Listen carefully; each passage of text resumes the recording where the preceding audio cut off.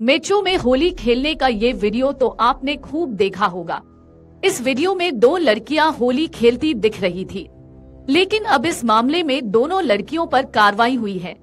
होली के मौके पर मेट्रो व स्कूटी पर वीडियो रील बनाकर चर्चा का विषय बनी दो युवतियों की पहचान कर ली गई है और अब उनके खिलाफ सेक्टर 113 पुलिस द्वारा केस दर्ज किया गया है। लड़कियाँ वीडियो में अश्लील हरकतें करती देखी जा सकती हैं।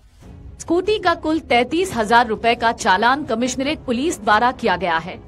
चालान कटने का जैसे ही मैसेज मिला, इस पर लड़कियों ने कहा कि वो एक गरीब परिवार से ताल्लुक रखती हैं और इतने रुपए उनके पास नहीं है कि वो चालान भर सके। उन्होंने ये भी कहा है कि अगर उनके वीडियो में अश्लीलता दिखी है तो आगे से वो ऐसा नहीं करेंगी। दोनों लड़कियों का वीडियो सोशल मीडिया पर तेज़ी से वायरल हो गया। हालाँकि इनका स्कूटी पर होली खेलने का जो दूसरा वीडियो है, उसकी बात करें तो स्कूटी चला रहे युवक का नाम पीयूष है। नोएडा ट्रैफ़िक पुलिस ने भारी भरकम चालान तो किया ही है। इसके साथ ही नोएडा पुलिस द्वारा दोनों युवती और उनके साथ के युवक के विरुद्ध एफआईआर भी दर्ज कर लिया गया है। दावा है कि यही दोनों युवती कुछ समय पहले आए दिल्ली मेट्रो में वायरल हुए वीडियो में दिखी थी। लोग ये भी कह रहे हैं कि दोनों युवती सोशल मीडिया पर लाइक व व्यूज़ पाने के लिए इस तरह की वीडियो बनाई।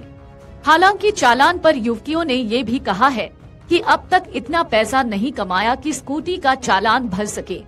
सेक्टर 113 थाना प्रभारी ने इस बारे में जानकारी दी है कि वीडियो के बेस पर अश्लीलता फैलाने वाली युवतियों को जेल भेजा जाएगा। अगर आप ये वीडियो YouTube पर देख रहे हैं तो हमारे चैनल को सब्सक्राइब करें और बेल आइकन को दबाना न भूलें। अगर आप फेसबुक पर ये वीडियो देख रहे हैं तो हमारे पेज को लाइक करें।